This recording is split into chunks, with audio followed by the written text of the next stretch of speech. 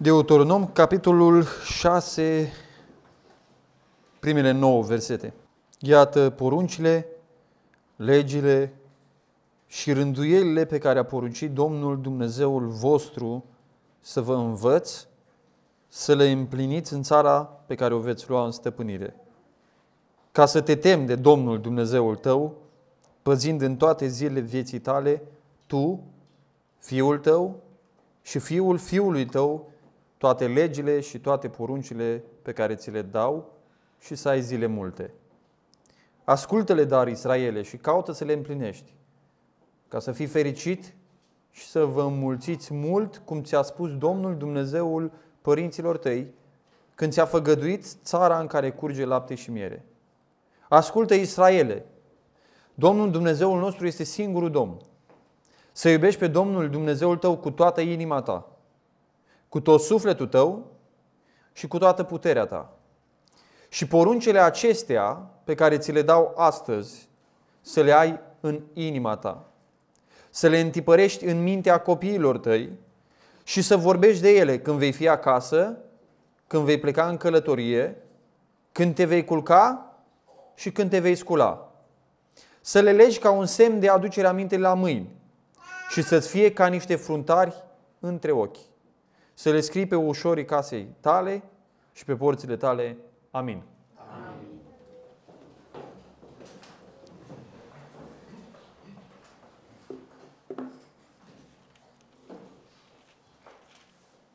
Joi seară ne-am uh, uitat la Deuteronom, capitolul 4 și la darul acesta mare pe care Dumnezeu ne l-a făcut, oferindu-ne cuvântul Lui. Cuvântul Lui. În această dimineață aș dori să continui, să ne uităm uh, împreună în Deuteronom 6 și să observăm câteva principii generale cu privire la cum trebuie să aibă impact cuvântul lui Dumnezeu în viețile noastre. Sau mai degrabă să vedem a tot cuprinderea cuvântului lui Dumnezeu asupra vieților noastre.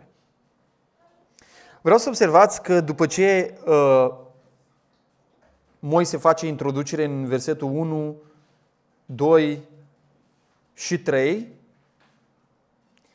și cheamă poporul la ascultare, că nu zice, iată poruncile, legele și rânduielile. Versetul 3, ascultă, dar Israel și caută să le împlinești ca să fii fericit, să vă mulțiți mult și așa mai departe. Din versetul 4, el începe secțiunea propriu-zisă care arată cum ar trebui să se împânzească, să se întindă cuvântul lui Dumnezeu în toată viața noastră. Și vrem să vedem cum se împânzește el și unde trebuie să se împânzească el și cum trebuie să arate acest mecanism al lucrării cuvântului lui Dumnezeu în viața noastră. Pentru că ă, textul acesta conține niște principii. El nu ne spune exact legile, avem carte de Deuteronom, legile exacte pe care ei trebuiau să le asculte. Cine niște principii care sunt universal valabile pentru noi până astăzi. Dar înainte de toate vreau să vedeți introducerea, versetul 4. Ascultă Israele, Domnul Dumnezeu nostru este singurul Domn. Dumnezeu însuși începe cu o mărturisire fundamentală de credință. Fundamental de credință. Dumnezeu le spune care trebuie să fie mărturia lor de credință, în ce să creadă ei, cine este Dumnezeu pentru ei. Dumnezeu ne spune cine este Dumnezeu. Nu noi spunem cine este Dumnezeu. Sunt oameni care zic, nu m-aș putea închina niciodată la Dumnezeu ăsta. Poți să te închini la ce Dumnezeu vrei tu. Poți să faci o tablă dacă vrei să te închini la ea. Dar Dumnezeu este cine este El și El este singurul care are drept să ne spună cine este El. De aceea noi credem în revelație. Noi nu-L descoperim pe Dumnezeu. Nu avem cum să-L descoperim pe Dumnezeu. Noi bâșbâim ca niște idioți în întuneric, căutând nu știu ce. Noi nu avem cum să-l, să găsim pe Dumnezeu. El se descoperă pe sine și când El se descoperă, atunci ai putea să zici că l-ai găsit pe Dumnezeu. Dar în fapt, l-ai găsit tu pe Dumnezeu? El ți s-a descoperit. Fie că vorbim de descoperirea lui Dumnezeu în conștiință, sau descoperirea lui Dumnezeu în creație, sau descoperirea lui Dumnezeu în cuvânt, sau descoperirea lui Dumnezeu în anumite acte istorice de judecată. El se descoperă pe sine, El se face descoperit. Și în textul acesta, și textul acesta începe, înainte să ne ducă la cuvântul lui Dumnezeu, Dumnezeu ne spune cine este El. Dumnezeu spune cine, cine este El. El ne spune care trebuie să fie mărturisirea noastră esențială de credință. Această mărturisire este comunicată de însuși Dumnezeu. Nu este formulată de om. Asta nu este o invenție a lui Moise. Este ceva ce Dumnezeu i-a dat lui Moise ca să spună poporului. Ascultă Israele, Domnul Dumnezeul nostru este singurul Domn. Este singurul Domn. Acum, fie că vorbim în Vechiul Testament, că vorbim în Noul Testament, că vorbim în poporul Israel, că vorbim de Biserica Noului Testament, eu nu cred că există creștini care să poată respinge frontal, direct, domnia lui Dumnezeu. Nu există. Eu sunt creștin, dar eu nu cred că Dumnezeu este Domnul sau că Hristos este Domnul. Pavel spunea în Romani, capitolul 10, și știți foarte bine textul acesta, care este un text care vorbește despre mântuire. În Romani, capitolul 10, el spunea în felul următor. Versetul 9. Dacă mărturisești deci cu gura ta pe Iisus ca ce? Domn. Și dacă crezi în inima ta că Dumnezeu l-a înviat din morți, vei fi? Dar dacă nu mărturisești pe Iisus cu gura ta ca Domn și vrei să-L mărturisești numai ca unul care ți iartă păcatele. Să ai bilețelul, ai iertat păcate, azi cu domnia discutăm noi o leacă mai târziu. Nu există așa ceva. Nu există creștin. Așa încep viața de credință. Așa încep viața de credință. Când Duhul Sfânt în 1 Corinteni 12 cu 3 insuflă în inima ta această convingere că Isus este Domnul vieții tale. Nimeni nu poate spune Isus este Domnul decât prin Duhul Sfânt.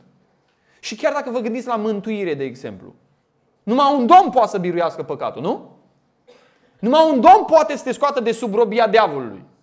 Că avem această imagine a scoaterii poporului Israel din Egipt, de sub robia idolilor și a dumnezeilor străini și a lui Faraon, care este imaginea a eliberării noastre de sub puterea păcatului, de sub puterea diavolului și de sub puterea lumii. Poate cineva care nu este domn să facă asta? Aș putea să zic, a, Dumnezeu care ne-a scos din Egipt este un mântuitor, dar nu este domn. Cum poate un mântuitor să te scoată? Dacă el nu are putere. Nu are cum.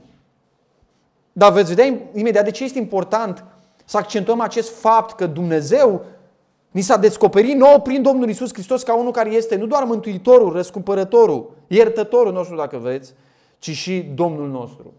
Ci și Domnul nostru. Vedem imediat în versetele următoare. Vezi că Dumnezeu nu spune eu voi fi singurul Domn.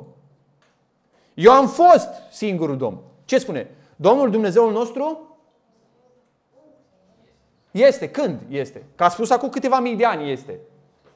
Acum, El este într-un, Dumnezeu este într-un prezent continuu. Dumnezeu nu poate fi în trecut, în viitor. Dumnezeu este în afara timpului. Pentru Dumnezeu timpul este un segment. El este Domnul. Și de fiecare dată când a intervenit, a intrat în istorie și a lucrat, iar a arătat de fiecare dată că El este Domnul. Dacă a intrat Dumnezeu vreodată în contact cu vreun popor păgân, sau poporul Israel, dacă a intrat în contact cu Dumnezeii falși ai acelui popor, dacă a intrat în contact cu conducătorii acelui popor care s-au răzvrătit împotriva lui, ei au cunoscut că El este Domnul. Că El este Domnul. El este Domnul. Noi nu îl facem Domn pe Dumnezeu. Noi nu putem să-L facem. Noi nu îl întronăm noi pe Dumnezeu. Să-L facem Domnul. Noi nu noi nu acceptăm noi, îi dăm noi locul. Foarte multă evangelizare creștină astăzi este practic o rătăcire de la un lucru banal pe care îl știau evreii cu mii de ani înaintea noastră. Să-L faci pe Iisus Domn. Cine ești tu, Domnule? Cine ești tu? Cum ai putea tu să-L faci pe Iisus Domn? Păi nu să-L fac în viața mea. Cum să-L faci tu pe Iisus Domn în viața ta? În prima predică pe care o predică Petru la cinzecime, de asta probabil că din necunoașterea cuvântului lui Dumnezeu spunem neroziile astea, că sunt nerozii în toată regula. Din necunoașterea cuvântului lui Dumnezeu. Când evangelizările noastre nici măcar nu se potrivesc cu prima evangelizare de la înființarea bisericii. Mai nu te du la altele. Una singură citește. Prima. Când Petru s-a ridicat în ziua 50 când Dumnezeu a întemeiat adunarea noului legământ, Petru s-a ridicat și a spus așa. Concluzie, zice. Versetul 36, asta e concluzia predicii lui. Ultima afirmație. Stă știe bine doar toată casa lui Israel că Dumnezeu a făcut Domn pe acest Hristos pe care l-ați răstignit voi. Cine l-a făcut? Dumnezeu. Și tu poate spui, Dar dacă eu nu-L fac Domn în viața mea, și dacă nu-L faci ce? De când am ajuns noi creștinii și predicatorii și vestitorii cuvântului Dumnezeu atâta de timorați că cineva a zis că el nu-L acceptă pe Domnul? Și dacă nu-L faci ce? Ce? Cine pierde? N-am înțeles. Pierde Hristos? Pierde Dumnezeu ceva? Ascultați ce spune Apostolul Pavel în Filipeni, capitolul 2. Îl citim ca rar, textul acesta. Ia ascultați ce spune el în Filipeni, capitolul 2, după ce descrie moartea Domnului Isus Hristos, învierea Domnului Isus Hristos. De aceea și Dumnezeu l-a înălțat nespus de mult. Cine l-a înălțat? Cine? Nu tu. Nu eu. Cine sunt eu să-L înalț pe Hristos? De aceea și Dumnezeu l-a înălțat nespus de mult și i-a dat numele care, nu zice va fi, care este mai presus de orice nume. De asta întreb, cine ești tu? Cum te cheamă pe tine? A cui ești tu? A lui Ion? Și ce ai tu de spus în privința domniei și stăpânirii lui Hristos? I-a dat numele care este mai presus de orice nume, pentru că în numele lui Isus, apropo de și dacă eu nu vreau să mă plec, ascultă, nu vrei să te pleci acum? Asta este cu tot o altă chestiune. Pentru ca în numele lui Isus să se plece orice genunchi a celor din ceruri, de pe pământ și de sub pământ. Orice genunchi și orice limbă să mărturisească spre slava lui Dumnezeu Tatăl, ce? Că Isus, Hristos, este Domnul. Anul mărturisește acum, dar într-o zi îl vei mărturisi. Nu-ți poți pleca genunchi acum, dar într-o zi ți vei pleca. Asta se va întâmpla, asta va fi un act istoric universal. Dumnezeu din Deuteronom 6 s-a descoperit în Domnul Isus Hristos pe care ne-l descrie în fapte 2, pe care ne-l descrie în Filipeni 2 și acest Hristos este Domnul. Asta spune. Este Domnul. Ni s-a descoperit în felul acesta. El este și Domnul tău. Chiar dacă nu-l accept. El este Domnul tău. El face ce vrea El cu viața ta. Tu spui, dar nu sunt mântuit. Și ce dacă? El face ce vrea cu viața ta. În mâna lui este viața și moartea, în mâna lui este binecuvântarea și blestemul, în mâna lui este sănătatea și boala, în mâna lui este cerul și iadul. El face ce vrea cu viața ta. Astăzi poți să ridici pumnul înaintea lui, poți să spui ceva despre el și în următoarea fracțiune de secundă, cum puterea lui, că el ține prin cuvântul puterii sale toate lucrurile, toate lucrurile. În el avem viața, ființa și mișcarea. Din el, prin el și prin el sunt toate lucrurile, prin Domnul Isus Hristos. El face ce vrea cu viața ta. Istoria vieții tale este scrisă de El.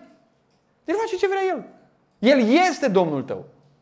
Lucrul acesta va implanta în noi și va crește în noi această floare atât de rară a smereniei, a supunerii, a plecării înaintea lui Dumnezeu, o plecare a inimii noastre față de cine și ce este Dumnezeu. Dumnezeu s-a făcut pe sine Domnul nostru în istorie. El este Dumnezeu din veșnicie, dar s-a făcut Domnul nostru în istorie nu noi l-am făcut și știți cum? Prin faptul că El a lucrat în dreptul nostru, la fel cum a lucrat în dreptul evreilor. Cum l-au cunoscut evreii pe Dumnezeu ca Domn?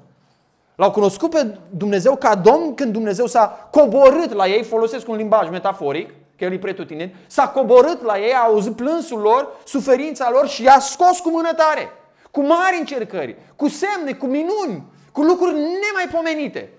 Cartea de Autoronom se încheie și încheie Moise vorbind poporului despre aceste acte extraordinare pe care le-a făcut și autorul care încheie cartea de Autonom spune așa, în Israel, versetul 10 din 34. În Israel, în Israel nu s-a mai ridicat niciun proroc ca Moise, pe care Domnul să-l fi cunoscut față în față. Niciunul nu poate fi pus alături de el în ce privește toate semnele și minunile pe care a trimis Dumnezeu să le facă în țara Egiptului împotriva lui Faraon, împotriva supușilor lui și împotriva întregii țări și în ceea ce privește toate semnele înfricoșătoare pe care le-a făcut Moise cu mână tare înaintea întregului Israel. Așa l-a cunoscut pe Dumnezeu. L-au cunoscut pe Dumnezeu ca Domn când Dumnezeu s-a manifestat în toată puterea Lui pentru evrei și împotriva egiptenilor. Dar acum uitați-vă la evrei. Îi întreabă Dumnezeu pe evrei dacă vor să fie, dacă ei vor să fie El Domnul lor? Îi întreabă? Nu îi întreabă. Îi pune la vot, îi cheamă la un vot general democratic să vadă dacă ei sunt de acord ca el să fie Domnul? Nu. Și cred că și noi ar trebui să terminăm cu ploconelele. Și să-L proclamăm pe... Poate de asta nici nu să mai se închisesc oamenii să ne ascultă. Că l-am îmblânzit atâta pe Dumnezeu în vorbele noastre și în ideile noastre, încât oamenii zic, dar cine e? Vă să aminte de cum îl trimite Dumnezeu. Citiți că e foarte interesant lucrul ăsta. Când îl trimite Dumnezeu pe Moise la faraon, ce îi spune lui faraon? Știți mesajul pe care îl spune? Lasă pe poporul meu pe întâiul născut să plece, că dacă nu, voi omorâ pe întâiul tău născut. Știți ce spune Moise când se duce la faraon? Citiți acasă. Știți ce îi spune Moise? Nu îi spune așa ceva. Citiți text, e un capitol, unul după altul. Într-unul Dumnezeu îi spune, așa să te duci să-l ameninți. Să-i spui că eu am putere și voi omorâ pe întâiul lui născut. Ăsta e mesajul, un mesaj de amenințare. Moise pe trasteu și să te gândește, păi dacă eu mă duc la faraon și îi spun așa ceva, ce o să ia? Ce bun poate să iasă de aici? Și el se duce și să spună, lasă-ne să plecăm cale de trei zile că vrem să ne închinăm lui Dumnezeu. Dar unde a spus Dumnezeu așa ceva lui Moise? Unde a spus Dumnezeu lui Moise așa ceva? Nicăieri nu i-a spus. Și faraon răspunde și spune, cine e Dumnezeu acesta ca să-l las eu să vă duceți să vă închinați? A, varde de închinare, vă gândiți la treburi din astea? Ia, la muncă. Pentru că el nu s-a dus cu, mes- cu mesajul pe care le-a dat Dumnezeu. Nu l-a prezentat pe Dumnezeu ca un Dumnezeu suveran, l-a prezentat pe un Dumnezeu care să ploconește în fața lui Faraon. Lasă pe poporul meu să plece trei zile să închine. Dar Dumnezeu nu așa i-a spus. S-a dus să-l trimită să-l amenințe pe Faraon. Să-i spună ultima judecată pe care, climaxul, cel mai înalt punct al judecății lui Dumnezeu. Și el n-a făcut lucrul ăsta. Și de asta nu a fost efectul, efectul dorit. Efectul dorit. Acum, după ce se prezintă Dumnezeu pe sine în versetul 4, spune să iubești pe Domnul Dumnezeul tău, pe Dumnezeu pe care l-a prezentat mai înainte, da? Dar reluăm textul de la început. Zice, iată poruncele, legile și rânduiele pe care a poruncit Domnul Dumnezeu vostru să vă învăț să le împliniți în țara în care veți lua în stăpânire. Ca să te temi de Domnul Dumnezeul tău, păzind în toate zilele vieții tale, tu și fiul tău și fiul fiului tău, toate legile și toate poruncile pe care ți le dau și să ai multe zile. Moise este un predicator aici. Este proroc, este un predicator. Predicator înseamnă unul care vestește. Da? Și la fel cum ei aveau nevoie să fie învățați, la fel noi avem nevoie să fim învățați. Și el se adresează în primul rând capilor de familie care erau prezenți acolo. Și acești capi de familie trebuiau să învețe și să le împlinească. Ei erau într-o școală a cuvântului. Dumnezeu lasă anumite legi ca la o anumită perioadă de timp tot poporul să se strângă și iară să învețe legea, și iară să învețe legea, și iară să învețe legea. Și Moise se aștepta și Dumnezeu se așteaptă ca părinții, copiii și nepoții să le împlinească. Uitați ce spune. Să te temi de Domnul Dumnezeul tău păzind în toate zilele vieții tale. Cine? Tu, fiul tău și fiul fiului tău toate legile și toate poruncile pe care ți le dau și să ai multe zile. Dumnezeu se așteaptă ca părinții, copiii sau bunicii, copiilor și nepoții să împlinească aceste lucruri, să fie învățați să le împlinească. Nu zice să așteptați să crească mari ca să le împlinească ci lor să li se implementeze de mici aceste lucruri și să le împlinească. Ordinea este clară. Tu, fiul tău și fiul fiului tău merge din generație, de la cea mai în vârstă generație până la cea mai tânără generație. Și la fel cum ei erau într-o strângere, într-o adunare publică atunci și ascultau cuvântul lui Dumnezeu, la fel noi astăzi și în fiecare joi și în fiecare duminică suntem în adunare la predicarea cuvântului lui Dumnezeu și aici trebuie să fie toate generațiile. De aceea am spus, sau cel puțin spun de vreo patru ani aici, nu există niciun deranj pentru un credincios nu există și dacă există vreun deranj, trebuie să pocăiască de deranjul lui. Că sunt copiii în adunare. Copiii trebuie învățați să stea în adunare. Și nu vor învăța dacă nu-i duce la adunare. N-au cum să învețe altfel. El nu să învețe la calculator să stea cu minte la adunare, corect? El o să învețe să stea în adunare fiind în adunare. Mai atrage atenția, mai vorbești cu el, mai ai grijă de el. Este un stres lăuntri pe care îl ai. Dar toți părinții îl au. Și nu niciun fel de problemă cu asta. Și adunarea trebuie să fie un loc primitor. Pentru evrei era o aberație. Nici nu știu ce cuvinte mai aspre să folosesc să spui că în adunare trebuiau să fie doar bătrâni. Că restul nu înțeleg ei. Nici, pentru ei nu exista așa ceva. Și dacă vă uitați în lucrarea Domnului Isus Hristos când a venit acest proroc mai mare decât Moise, despre care Moise prorocește după aceea în Deuteronom, erau femei, erau bărbați și erau copii acolo. Și Domnul nu avea absolut niciun fel de problemă. Niciun, niciun fel de problemă cu asta. Nu că nu avea niciun fel de problemă, el era împlinirea a tot ce a prorocit Moise. El era împlinirea. Și el și-a arătat dragostea pentru copii. Atunci de fiecare dată când ei au fost prezenți în întâlnirile publice unde el predica, evangeliza, vestea cuvântul Domnului, elibera, vindeca și așa mai departe. Aici trebuie să fie toate generațiile. Și sunt toate generațiile. Și slavă Domnului pentru lucrul acesta. Această întâlnire publică, ca și la ei, este centrul vieții. Vedeți, ei de aici s-au strâns toți, au ascultat cuvântul lui Dumnezeu și zice, de aici vă duceți cu cuvântul lui Dumnezeu și zice așa, și să împliniți toate legile și toate poruncile pe care ți le dau astăzi și să ai multe zile. Da? Există o zi, sau versetul 2, ca să te temi de Domnul Dumnezeul tău, păzind în toate zilele vieții tale. Există o zi, ziua de duminică, în care ca și în ziua aceea noi ascultăm cuvântul lui Dumnezeu și ziua aceasta este ziua noastră centrală în săptămână. De aici ne ducem în toate celelalte zile și cuvântul pe care l-am luat de aici îl ducem în toate celelalte locuri. Ăsta este rostul întâlnirii publice.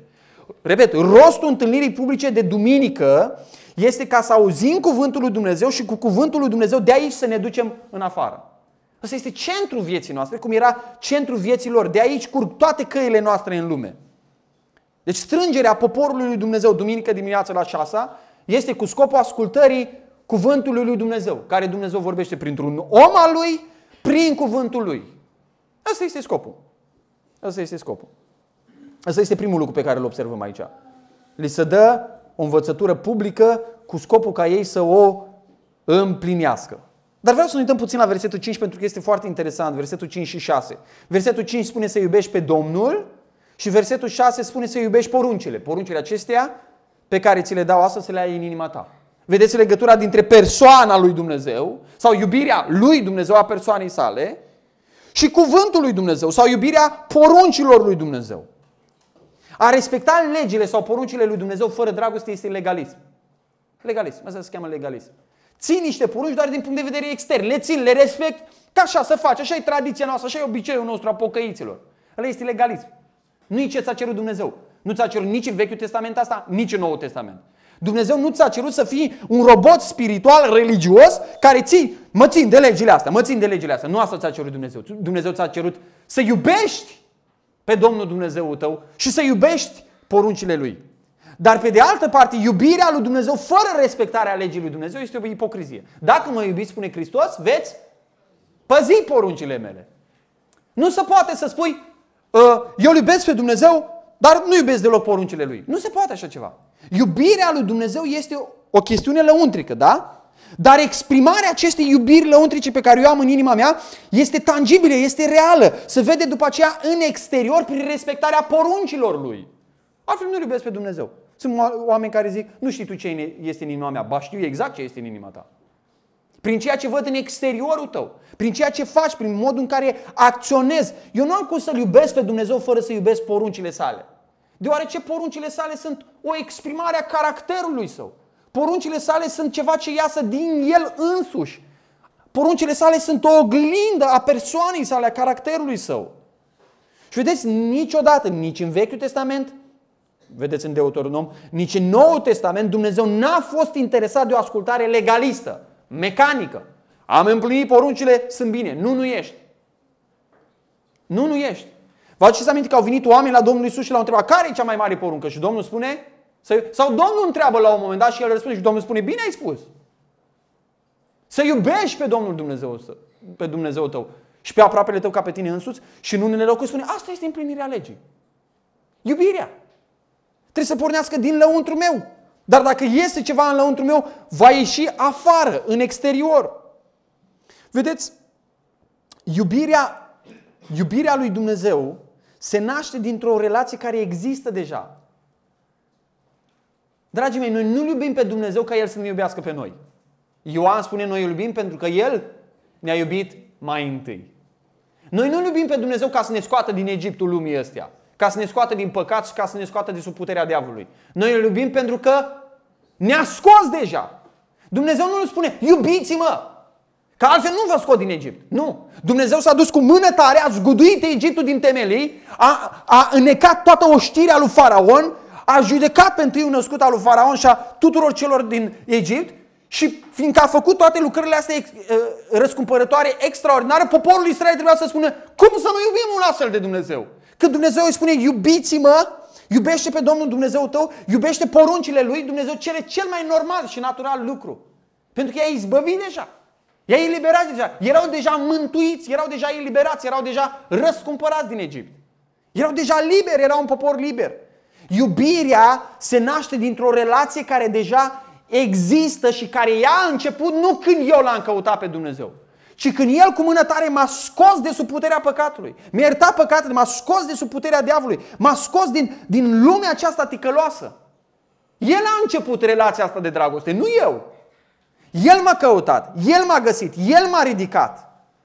Noi nu ascultăm de Dumnezeu ca El să ne răscumpere, ci ascultăm de El pentru că ne-a răscumpărat deja. Ne-a răscumpărat deja.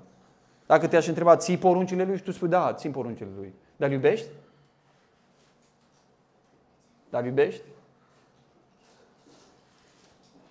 Observați apoi, deci primul lucru pe care l-am văzut este că trebuie să existe această, această dăruire a legii lui Dumnezeu. Dumnezeu o dă prin prorocul lui, prin predicator, prin cuvântul lui. Al doilea lucru pe care îl vedem este această relație dintre iubirea lui Dumnezeu și iubirea poruncilor lui. Al treilea lucru pe care vreau să-l observați tot din versetul 5 și 6 este legătura dintre mine și copiii mei. Fiți atenți la expresiile astea. Spune așa. să iubești pe Domnul Dumnezeul tău cu toată inima ta. Tu mai spune, cu tot sufletul tău, cu toată puterea ta. Ăsta ești tu, o persoană. Inimă, suflet, putere. Zice, tu să iubești tu. Dar uitați versetul următor. Și poruncile acestea pe care ți le dau astăzi, repet într-un fel, însumează ce au spus în versetul 5 în trei feluri, însumează într-unul singur. Să le ai în inima ta. Deci îl avem pe Andrei cu inima lui. Observați versetul următor. Deci, versetul 6. Poruncile acestea să le ai în inima ta. Versetul 7. Să le întipărești în mintea copiilor tăi. Vedeți tranziția aceasta rapidă, expresie după expresie, propoziție după propoziție. De la inima ta trebuie să se ducă la mintea copiilor tăi. El arată care sunt beneficiarii cuvântului lui Dumnezeu. Cine trebuie să primească cuvântul lui Dumnezeu? Prima preocupare a mea și a ta, ca părinte, prima ta preocupare este ca acest cuvânt al lui Dumnezeu care este deja în inima ta, că de asta ești credincios, este deja în inima ta, prima ta preocupare este pentru casa ta. Pentru casa ta.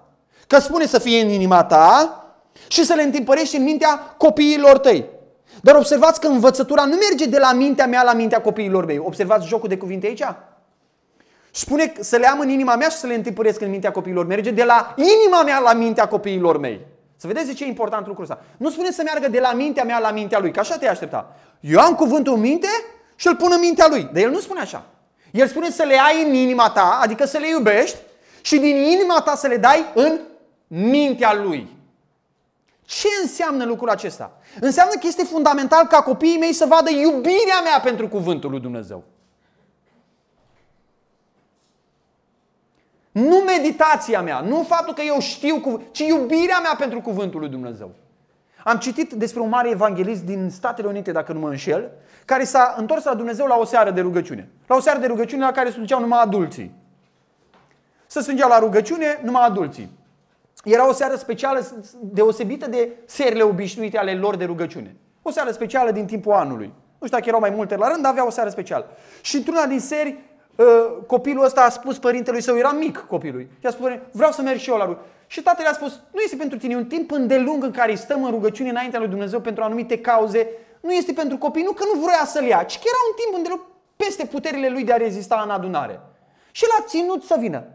A ținut să vină. Tatălui era un bărbat foarte corpulent, foarte mare, puternic, sănătos, muncitor, un om extraordinar de harnic uh, și foarte disciplinat. Foarte disciplinat. În toate aspectele. Financiar, la lucru, era un om serios, era cunoscut ca un om extraordinar de serios. Și în casă, și în afară, și peste tot. Și când a ajuns la adunare, după o perioadă de timp, l-a auzit pe tatăl său rugându-se cât era el de mare și de voinic și de serios, plângea înaintea lui Dumnezeu pentru anumite lucruri. Și copilul a rămas atât de străpuns de relația, nu l-a auzit niciodată pe tatăl lui în, în, în, în, în starea de sensibilitate, numai înaintea lui Dumnezeu l-a văzut așa, plecat, smerit, rugându-l pe Dumnezeu, fierbinte pentru anumite cauze pe care le vrea și în seara aia s-a întors la Dumnezeu, copilul. Atunci a văzut un Dumnezeu real în viața părintelui său. Nu o vorbă, un Dumnezeu în vorba mea. Un Dumnezeu militaros, un Dumnezeu mecanic, Un Dumnezeu tiran. Un Dumnezeu cu biciu. A văzut pe tatălui în sensibilitate. Un om. Un dita mai unul coborât înaintea lui Dumnezeu. Smerit înaintea lui Dumnezeu. Plecat înaintea lui Dumnezeu. Nu să pleca înaintea nimănui, dar înaintea lui Dumnezeu să pleca. Și s-a întors la Dumnezeu. Și ce a văzut? Dragostea lui pentru Dumnezeu. Dragostea lui pentru Dumnezeu. A fost o fantă, o fereastră de lumină pentru copil să vadă. Și azi, dacă omul ăsta este așa datorită Dumnezeului căruia să închine, vreau să fiu și eu ca el, un copil mic. Și a ajuns unul dintre cei mai de succes evangeliști ai lumii ăștia. Copilul ăsta a ajuns să care împreună cu alți evangeliști când era în tinerețe, că nu erau uh, foarte multe mașini atunci, cu căriciorul, cărau cortul, se opreau într-un sat, îl ridicau, îl instalau. Ani de zile a făcut asta. Evangelizare după evanghelie. Ce a pus în el focul ăsta? Cum s-a născut focul ăsta? Știți cum s-a născut? În casa lui s-a născut. În casa lui s-a născut. Văzând niște părinți care îl iubeau pe Dumnezeu. Care îl iubeau pe Dumnezeu. Și vedeți, știți care e responsabilitatea mea numărul unu și aș spune că ăsta este falimentul numărul unu a părinților de astăzi. Spune așa, ascultați. Să te temi de Domnul Dumnezeul tău păzind în toate zilele vieții tale, tu și fiul tău. Acum vorbește cu tata, da? Cu părintele. Tu și fiul tău. Responsabilitatea mea numărul unu este să-l învăț pe copilul meu cuvântul lui Dumnezeu. Trăim într-o vreme în care există această, nici n-am cum să numesc, o formă de nebunie secularistă, materialistă în mințile părinților, încât părinții, copiii lor sunt supra-solicitați. Îl duce la pian, îl duce la not, îl duce la sport, îl duce la cutare, îl duce la cutare, îl duce la cutare. Copilul ăla la șase ani este, zici că este un geniu. Este un geniu. Știe absolut orice. Știe despre lume, știe despre foc, știe despre astre, știe despre animale, știe, pregătit din toate punctele de vedere. Dar unde e copilul tău, frate? Îi la pregătire. Duminică unde e copilul tău? Să pregătește pentru teză. Răspui mine unde este copilul tău? Are examen. El nu este, știți ce el învață părinții lui? Orice este important. Important să noate, important să aibă spatele drept, important să te dezvolte intelectual, important să știi să socializeze, numai nu este important să fie în casa lui Dumnezeu și să știe cuvântul lui Dumnezeu. Și și l-a scos afară din adunare, frate trimis în lume, tai căsu cu maică sa. Fraților, să ne rugăm, eu înțeleg. Vă spun, eu înțeleg durerea lor. O înțeleg, o înțeleg. Mă gândesc la copiii mei, o înțeleg. Să ne rugăm pentru copiii mei. Eu nu i-am văzut la adunare pe copiii tăi. Să ne rugăm pentru copiii. Eu nu i-am văzut. Eu nu te-am văzut pe tine cu ei. Fraților, să ne rugăm pentru... Dar tu te-ai rugat cu copiii tăi. Fraților, dar tu ai făcut lucrul ăla? Ai făcut ce ți-a spus Dumnezeu? Sigur, Dumnezeu are har și îndurare și poate recupera și așa mai departe. Sigur, fiecare dintre noi părinți, dacă ne luăm în parte, avem falimentele noastre, eșecurile noastre de care ne este rușine și ne îngrozim. Dar este una să ai falimente în viață și una este să abandonezi total responsabilitatea pe care ți-a dat-o Dumnezeu. Eu nu știu cum arată copiii tăi. Unde sunt copiii tăi? Unde sunt copiii tăi? Sunt plecați pe tot felul de lucruri. Și pe aia când au luat o razna, dăm vina, nu? Pe cine? Și am auzit și perversitatea asta, ca unul care crede în alegerea suverană a lui Dumnezeu, am auzit și perversitatea asta. Zice, frate, poate nu să alegi de Dumnezeu. Poate o pus satana stăpânire pe mintea ta să te justifici acum cu Scriptura și cu alegerea lui Dumnezeu, că tu nu te-ai ocupat de ei. Poate e așa. Poate e așa. Vedeți, responsabilitatea numărul unu este să-L învăț cartea Domnului, să-L învăț cuvântul Domnului. Cuvântul Domnului. Asta este responsabilitatea mea numărul unu. Și vedeți, Dumnezeu prin părinți asigură continuitate istorică în poporul Israel. El se asigură că generația următoare este una plămădită în cuvânt, formată în cuvântul lui Dumnezeu. Știți unde are loc prima dată lucrul ăsta? Acasă. Acasă. Tragedia mare de astăzi este că copiii sunt scoși din strângere publice ale adunării și îți dați pe mâna a tot felul de oameni. A tot felul de oameni să se ocupe de ei. I-am debarcat undeva să se ocupe alții de ei. Când Dumnezeu i-a spus, tu și fiul tău. Doamne, dar nu știu ce a făcut liderul de tineret cu ei. Unde l-ai găsit tu pe ăla de liderul de tineret? Cine ți-a vorbit ție despre el? Dar nu știu ce-a făcut învățătoarele la grupele de copii. Tu ești învățătoarea la grupa ta de copii la tine acasă. Tu ești învățătoarea.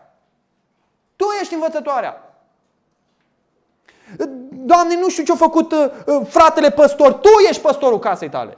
Tu. Nimeni altcineva. Tu. Asta ne arată. Tu și fiul tău și fiul fiului tău. Asta arată Dumnezeu aici. Dumnezeu vrea să lase o continuitate istorică în generație după generație care e plămădită, formată, crescută în cuvântul lui Dumnezeu. Acest lucru se întâmplă întâi acasă nu la cort, la sinagogă, la templu și după aceea în biserică. Întâi acasă. Aici este o strângere publică în care Moise învață pe părinți ce să facă după aceea la casele lor. La casele lor. Și copiii care erau prezenți acolo trebuia să tragă din mână pe tată. Bă, tată, ce a zis Moise? că două luni de când nu ne spui nimica. Suntem păgâni, suntem egipteni, suntem amoriți, suntem moabiți, ce suntem? Și v-am mai spus odată lucrul ăsta și vă spun că Dumnezeu vorbește prin gura copiilor. Îți prea obosit, câteodată prea obosit am venit de nu știu unii, frânt, îți căzut jos. Și ei la 11 cu antenele sus, îți zici că atunci s-a trezit. Tati, nu facem, nu discutăm, nu ne rugăm, nu cântăm, nu facem nimic. El te mustră, El îți spune. Băi, tu ești păgân? Tu ești predicator, tu ești vestitor, tu ești creștin, măi. Ca asta, eu asta înțeleg. Tu ești păgân, ce om ești tu? De asta în adunarea publică, Moise vorbește tuturor. Îi responsabilizează pe ei toți. Și asta s-a inventat atâtea misiuni anti... Ascultați-mă, n-ar fi nevoie de nicio întâlnire cu copiii credincioșilor, de nicio grupă, de nicio întâlnire de tineri, de nimic, dacă părinții lor s-ar fi ocupat de ei. Dacă părinții lor s-ar fi ocupat de ei. Copiii la 8 ani de care părinții lor s-au ocupat știu mai mult decât cei mai mulți tineri din bisericile evanghelice care au 18 ani astăzi. Sunt unii dintre ei care nu pot exprima și formula în cele mai banale cuvinte ce înseamnă Sfânta Treime.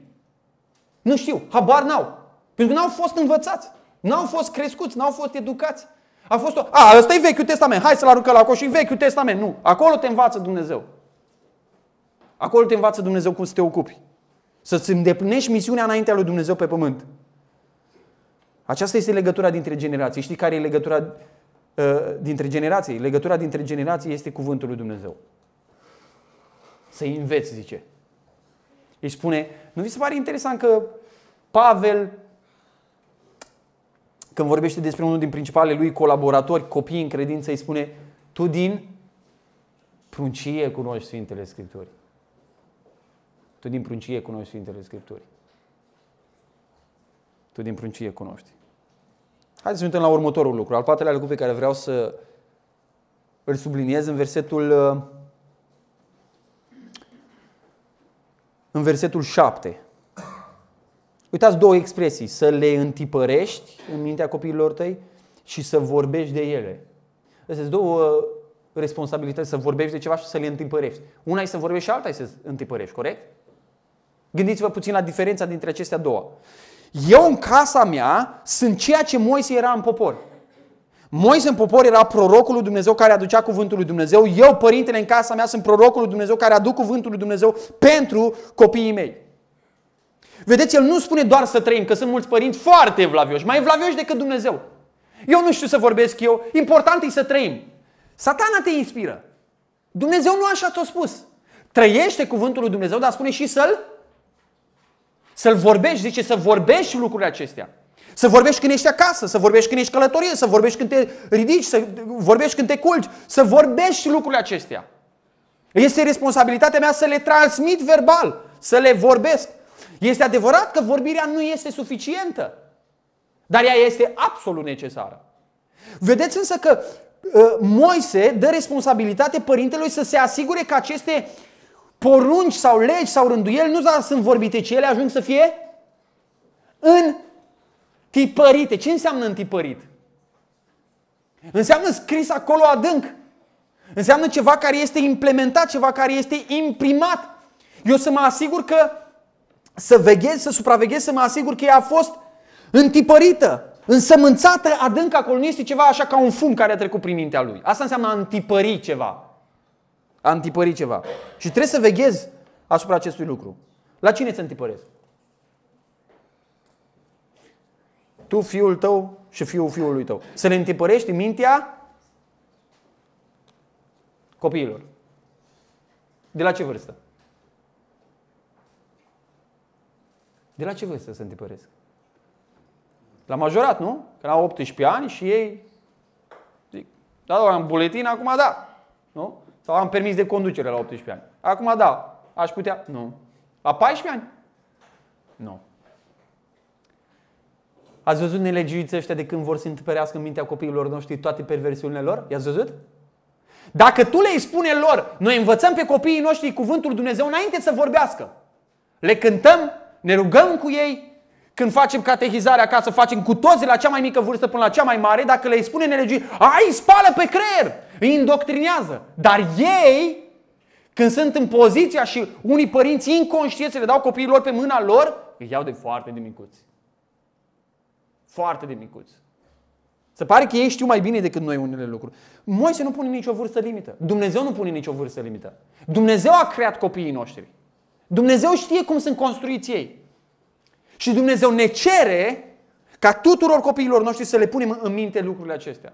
Tuturor copiilor noștri. Să crească în atmosfera asta. Deci nu doar vorbirea, ci și întipărirea. Iar întipărirea nu înseamnă doar ca ei să le știe pe de rost. Întipărirea înseamnă să facă parte din viața lor. Să devină programul după care ei funcționează. Cel puțin asta este dorința mea, asta este tendința mea, asta este, asta este planul meu, asta este perspectiva mea. Apoi, al cincilea lucru pe care vreau să-l vedem este unde să face pedagogia asta, lucrarea asta. Uitați ce spune. Să le întipărești în mintea copiilor tăi și să vorbești de ele când ești la adunare. Că ăla e locul sacru și religios. Că ce are cuvântul lui Dumnezeu de a face cu treburile noastre de fiecare zi?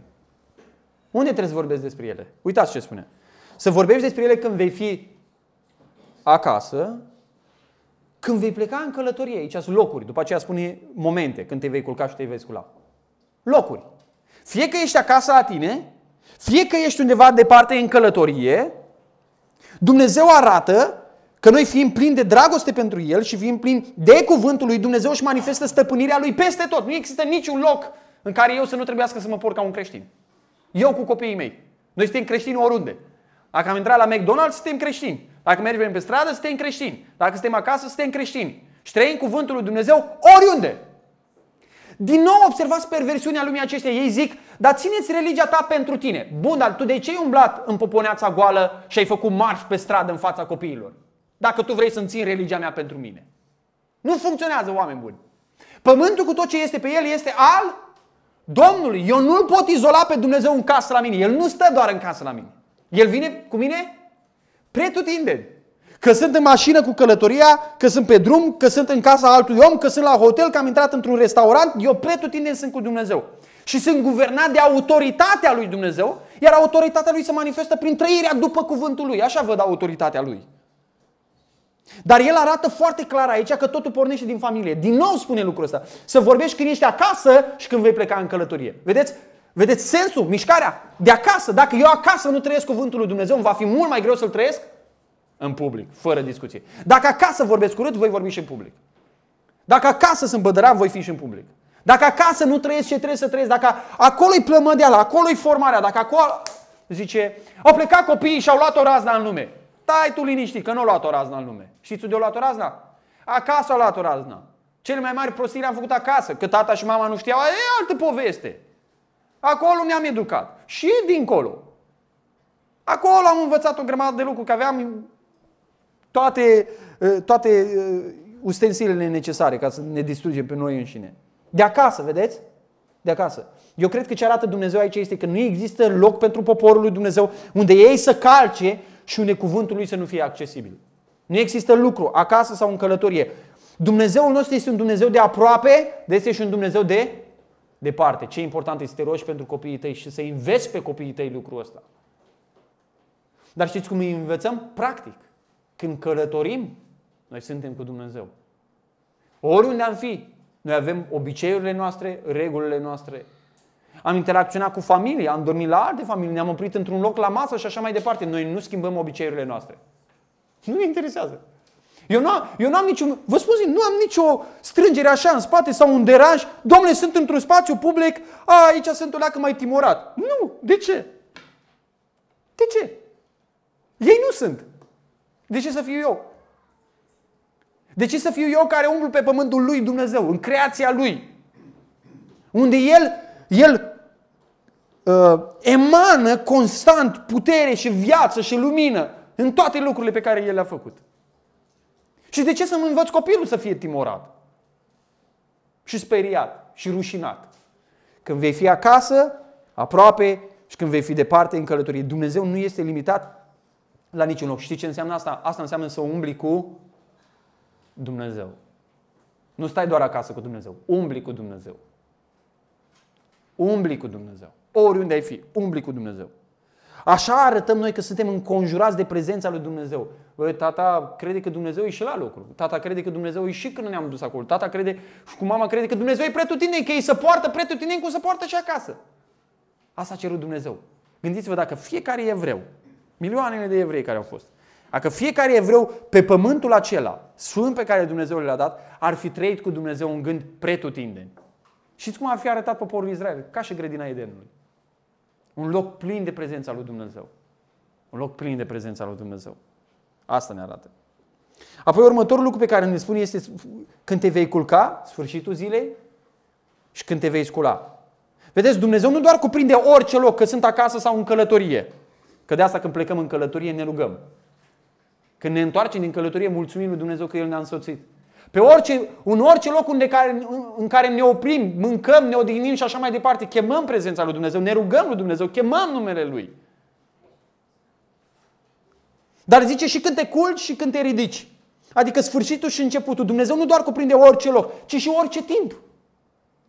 Oriunde te-ai trezi. Oriunde te-ai culca. El este prezent acolo. Așa arată Dumnezeu că El este alfa și omega în viața noastră. Așa arată o zi decisă, determinată, păstorită de Dumnezeu prin cuvântul Lui. Încep cu Dumnezeu. Termin cu Dumnezeu. Seara când mă culc, pun noaptea sub grija lui Dumnezeu, zice psalmistul, eu mă culc și adorm în pace, că numai Tu, Doamne, îmi dai liniște de plină în locuința mea. O pun în grija lui Dumnezeu, El guvernează, El îngrijește și viața mea noaptea când eu nu mai sunt conștient de mine însumi și dimineața pun ziua sau umblarea mea sub guvernarea lui Dumnezeu. Zice să vorbești despre lucrurile acestea. Dimineața și seara când te culci. Uh, este asta o regulă? Acum noi suntem creștini, noi suntem liberi în Hristos. Noi am ieșit de sub jugul ăsta Vechiului Testament. Și nu mai trebuie, domnule, să începem dimineața și seara cu cuvânt. Asta sunt niște reguli, niște legi, nu-i așa? Aș vrea să vă dau un argument că nu e așa. De ce e o regulă să mănânci dimineața și seara?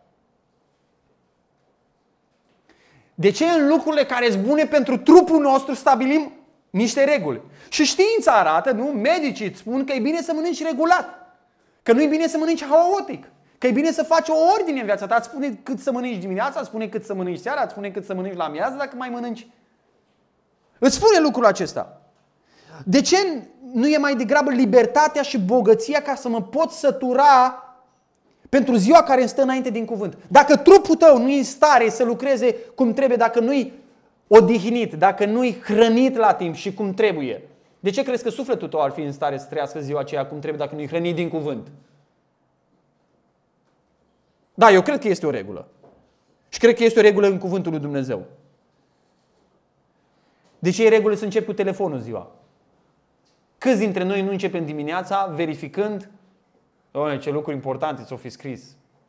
Deci, ți-au mai trimis Putin, Biden, prim-ministru ăștia, bă, informații importante, trebuie să pui repede mâna pe telefon să vezi, bă, ce s-a mai întâmplat, ce mai făcut, ce mai, da, lucruri extraordinar de importante care sunt pentru noi, transmise acolo. Și am făcut regulă. Am luat telefonul dimineața să verific, zic eu, să verific. Ce bine am fi dacă am verificat întâi Biblia, nu credeți? Așa spune el. Zice, dimineața când ai început, să începi cu Dumnezeu. Seara când ai terminat, să termin cu Dumnezeu. Să termin cu Dumnezeu. Eu cred că ăsta este motivul pentru care sufletele atâtor creștini hoinăresc noaptea. Hoinăresc noaptea. Datorită faptului că mintea este umplută seara cu lucrurile lumii, cu stricăciunile lumii, cu perversiunile celui rău. Și nu este umplută de cuvântul lui Dumnezeu.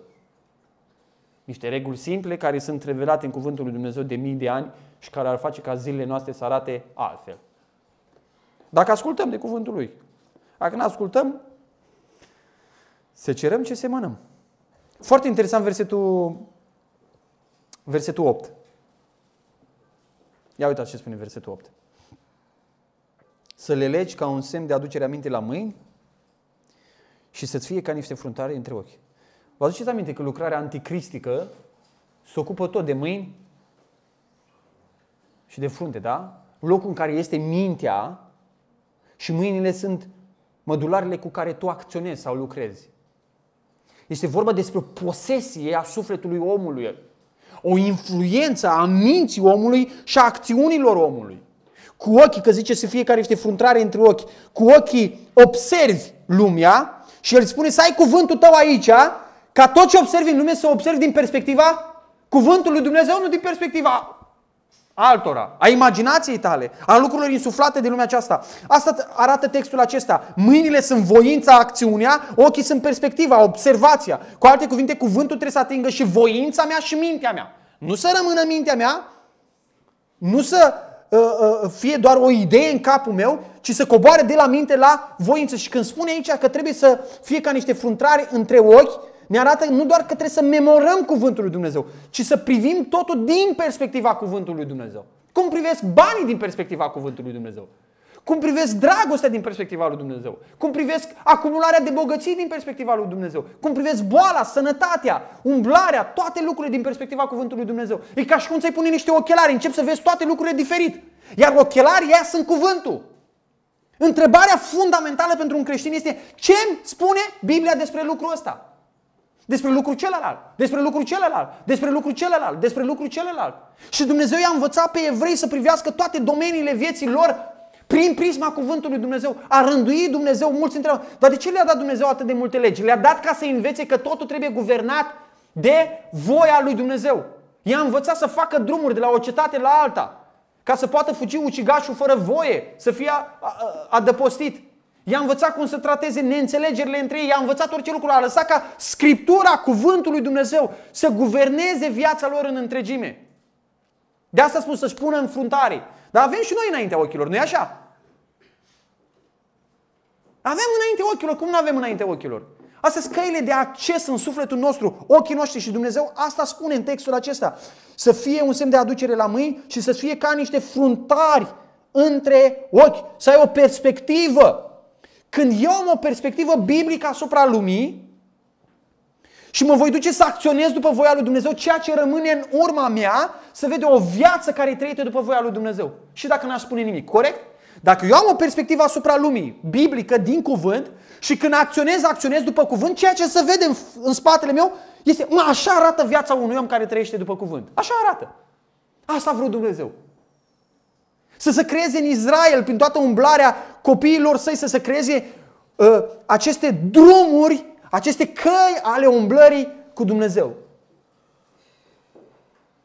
Aceste căi ale umblării cu Dumnezeu. Acum trăim într-o vreme în care toată lumea vrea să ridice mâinile sus. Ați văzut? Este o euforie, să ridicăm mâinile sus. Și ce spune Timotei? Că aici spune să-ți pui la mâini. Zice să-ți pui la mâini. Uh, știți ce spune Timotei? Bărbații să ridice mâini? Ia să văd eu ce ai făcut o aseară pe telefon cu mâinile tale. Lasă mâinile jos. Lasă mâinile jos.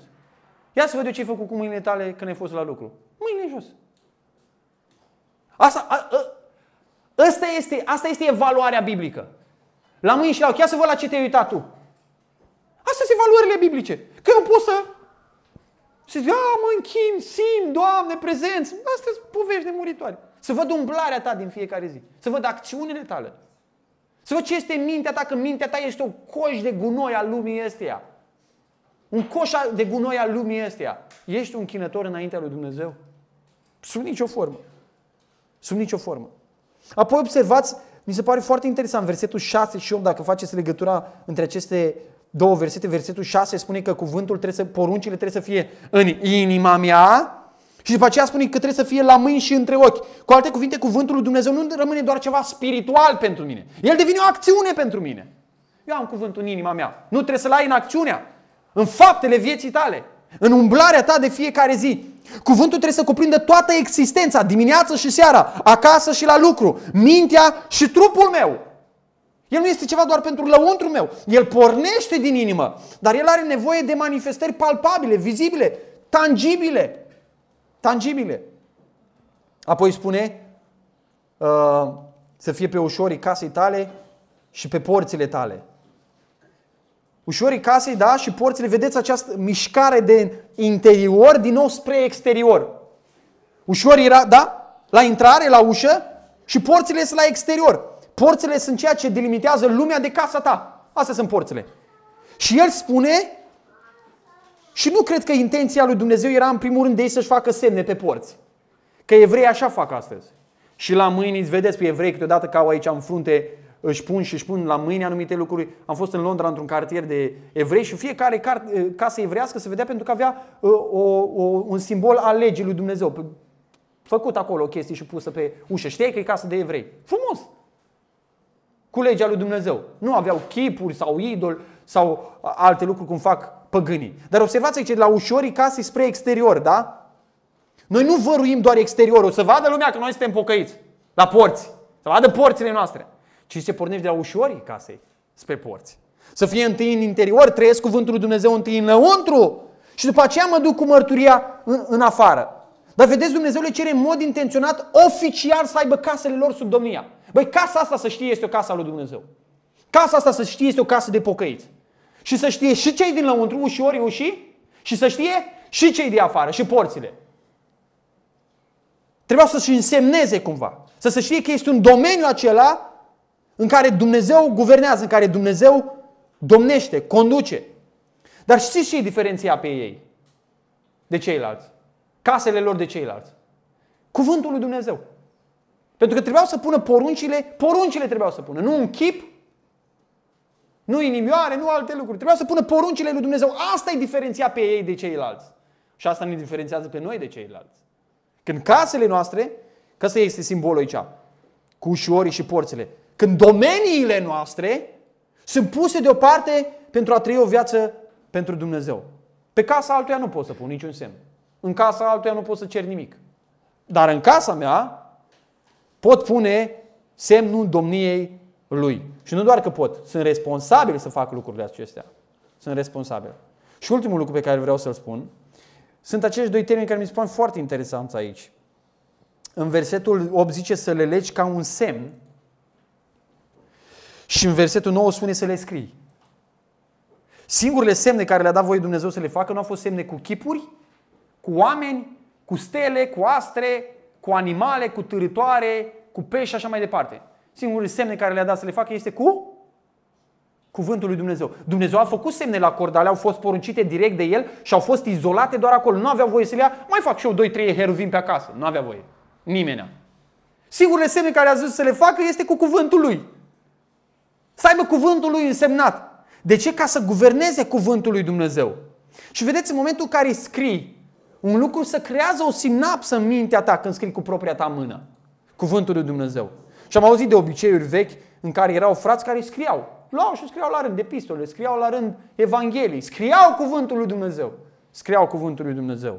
Și vedeți, el, asta arată Dumnezeu aici, își însemnau locurile de acces porțile și ușorii principale cu cuvântul lui Dumnezeu, pentru a arăta că aia este o casă guvernată de Dumnezeu prin cuvântul lui.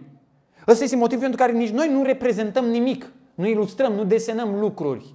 Da? Ar trebui. Ci doar scriem. Doar scriem. Și avem anumite însemnări ale cuvântului lui Dumnezeu, nu ale unor chipuri din cuvânt sau din altă parte. Acum noi poate îi disprețuim, sau nu știu dacă îi disprețuim, dar ne uităm la evrei de astăzi care își pun uh, la mâini tot felul de lucruri, se leagă uh, în timp ce se roagă, își pun fruntarele alea, nu știu dacă le-ați văzut, sau își pun pe case, anumite semne cu cuvântul lui Dumnezeu, cu legea lui Dumnezeu. Da? Dar, și într-o vreme la noi,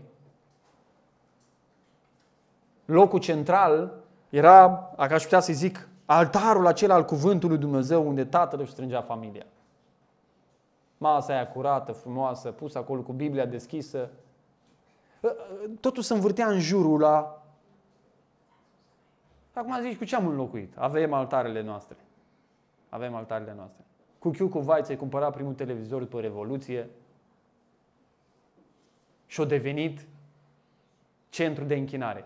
Ați văzut dumneavoastră pe cineva, ați văzut vreodată o familie, vă aduceți aminte, la noi a fost la fel. Ați văzut vreodată o familie în care oamenii sunt mai liniștiți ca în fața televizorului? Nicăieri.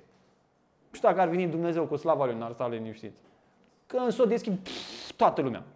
Dar ei ne-au facilitat, măi, că la televizor. Astea sunt deja chestii vechi. La televizor, el vrea să vadă o idolatrie, ăla vrea să vadă altă idolatrie, ăla vrea să vadă o altă idolatrie, că avem preferințele noastre în idolatrie. Și atunci ne-au dat televizoare mici fiecăruia. Și s-a dus fiecare în camera lui cu idolul lui, dimineața, râdeți, nu e așa? Nu este așa? Și stai acolo, dacă ți-ar cere, stai, domnule, 30 de minute, 20 de minute. Nu 20 de minute. 10 minute stai în rugăciune. Nu poți. Dar 3 ori poți să stai în fața telefonului. Din experiență o zic. 3, 4, cât e nevoie. Nu a acaparat altceva mâinile noastre, ochii noștri și de fapt sufletul nostru. Porțile acestea de acces a sufletului au fost date la altceva. La altceva. Dar totul a pornit de undeva. Totul a pornit de undeva. Când am făcut gaură în pod și am băgat cablu. Mie mi se pare ne la locuie și înlocuirea Bibliei cu telefonul. Acum nu mai deschideți Biblia, deschideți aplicația. Mie mi se pare problematic lucrul ăsta. Mi se pare problematic pentru că unii zic, a, visezi după lucruri vechi. Nu visez pe niciun lucru vechi. Dar ce imagine frumoasă a unui creștin care se duce la casa lui Dumnezeu sau în adunarea Sfinților cu Biblia. Cu Biblia. Cu Biblia. La un moment dat s-au făcut Bibliile micuțe ca să-ți încape în poșetuță sau în buzunărel să nu bată la ochi prea tare. Sau înlocui Biblia cu alte lucruri. Și vedeți, s-a pierdut, este o pierdere din punctul meu monumentală, pentru că pentru noi Biblia este un semn, este un simbol care marchează că eu sunt un om al Scripturii, al Cuvântului Dumnezeu, sunt un om al lui Dumnezeu. Asta marchează, asta e pentru mine Biblia. Asta nu arată nimic, ca fraților.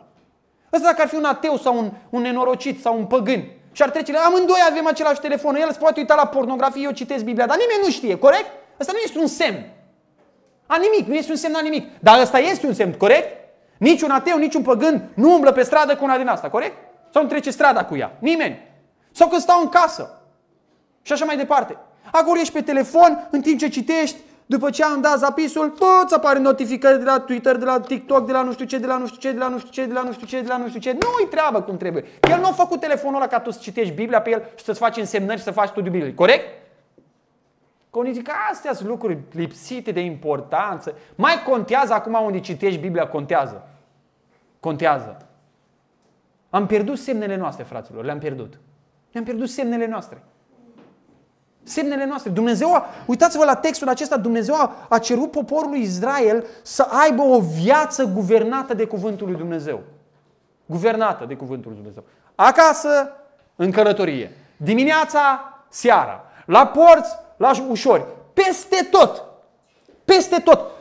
Dacă ați putea să vă imaginați și geografic și ca timp, Dumnezeu însemna perimetrul în care trăia omul ăla peste tot cu cuvântul lui. Ca să arate că el este un om aflat sub stăpânirea lui Dumnezeu care trăiește după voia lui Dumnezeu. După voia lui Dumnezeu. Iar noi trebuie să ne găsim.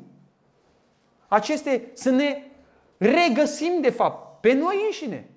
Să ne regăsim pe noi înșine în parametrii cuvântului Dumnezeu, să facem fraților lucruri practice, să facem viața noastră o viață încadrată de puncte, de momente ale cuvântului. Duminica este ziua mea principală în care aud cuvântul lui Dumnezeu. Din casa asta, din locul ăsta, din strângerea aceasta, după ce am auzit cuvântul, mă duc și crez căi în lumea aceasta care se nasc din ascultarea cuvântului.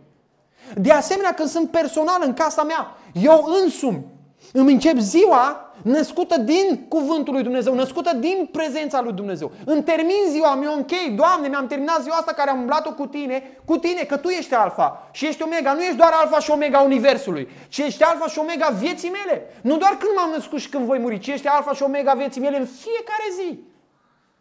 Copiii mei, care ar trebui să se nască într-o astfel de casă cu care să încep în felul acesta. Nimeni nu-ți spune să faci o slujbă de biserică în fiecare dimineață și în fiecare seară. Dar să fie un cuvânt al lui Dumnezeu. Vedeți, a fost obiceiurile astea bune. O, aveai un calendar, aveai o treabă. Nu sunt eu de acord cu toate trăznăile scrise prin multe locuri. Tot felul de lucruri. De meditații și unele sau un mesaj îndoielnic. Dar obiceiul în sine era bun. Era obiceiul de a sta întâi în cuvânt. Să începi și n-ați văzut uneori, ai citit trei paragrafe, ca un pionez îți s-o înfipt în cap, un, un cuvânt de acolo, o idee, nu poți scăpa de ea toată ziua. Toată ziua te urmărește cuvântul lui Dumnezeu, pentru că ești creștin, ești un păgân. Asta este viața pe care Dumnezeu a cerut-o, o viață guvernată de cuvântul lui Dumnezeu. Gândiți-vă la modalități pra- practice. Personal, cu familia, cu adunarea, în care să arătăm că Cuvântul lui Dumnezeu conduce viața noastră. Dacă nu iubești, nu o să găsești metodele alea. Dacă nu iubești pe Dumnezeu și Cuvântul lui, Dumnezeu să toarne noi dragoste pentru lucrurile acestea. Amin.